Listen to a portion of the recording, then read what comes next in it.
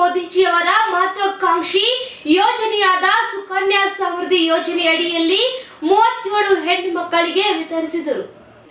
ಪ್ರಧಾನಮಂತ್ರಿ ನರೇಂದ್ರ ಮೋದಿಜಿಯವರ ಮಹತ್ವಾಕಾಂಕ್ಷಿ ಯೋಜನೆಯಾದ ಸುಕನ್ಯಾ ಸಮೃದ್ಧಿ ಯೋಜನೆಯನ್ನು ಮಂಗಳೂರು ನಗರ ದಕ್ಷಿಣ ಕ್ಷೇತ್ರದ ಶಾಸಕರಾದ ವೇದವ್ಯಾಸ ಕಾಮತ್ರವರು ತಮ್ಮ ವೈಯಕ್ತಿಕ ನೆಲೆಯಲ್ಲಿ ತಲಾ ಒಂದು ಸಾವಿರ ರೂಪಾಯಿಯಂತೆ ಮೂವತ್ತೇಳು ಹೆಣ್ಣು ಮಕ್ಕಳ ಹೆಸರಿನಲ್ಲಿ ಠೇವಣಿ ಇರಿಸಿ ಇವತ್ತು ಈ ಯೋಜನೆ ಪಾಸ್ ಪುಸ್ತಕವನ್ನು ಬಿಜೆಪಿ ಜಿಲ್ಲಾಧ್ಯಕ್ಷರಾದ ಸುದರ್ಶನ್ ಎಂರವರು ಮಕ್ಕಳಿಗೆ ವಿತರಿಸಿದರು.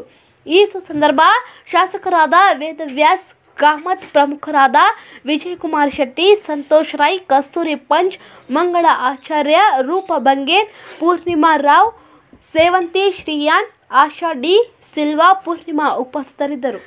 ಕಲ್ಪವೃಕ್ಷ ಆರೋಗ್ಯಧಾಮ ಹೆಲ್ತ್ ಕೇರ್ ಸೆಂಟರ್. ನಮ್ಮಲ್ಲಿ ಬುದ್ಧಿಮಾಂದ್ಯತೆ ಆಲ್ಝೈಮರ್ಸ್ ಪಾರ್ಕಿನ್ಸನ್ಸ್, ಮಾನಸಿಕ ಮತ್ತು ದೈಹಿಕ ಪುನರ್ವಸತಿ ಪಾರ್ಶ್ವವಾಯು ಮುಂತಾದ ಸಮಸ್ಯೆಗಳಿಗೆ ವಾರದ ಎಲ್ಲಾ ದಿನಗಳಲ್ಲಿ ಚಿಕಿತ್ಸೆ ನೀಡಲಾಗುತ್ತದೆ. ಸುಂದರವಾದ ಪರಿಸರದಲ್ಲಿರುವ ನಮ್ಮ ಆರೋಗ್ಯ ಧಾಮವು ಸ್ವಚ್ಛ ಮತ್ತು ಉತ್ತಮವಾದ ಕೊಠಡಿಗಳನ್ನು ಹೊಂದಿದ್ದು ಶುಚಿಯಾದ ಊಟ, ವಸತಿಯ ವ್ಯವಸ್ಥೆ ಇದೆ.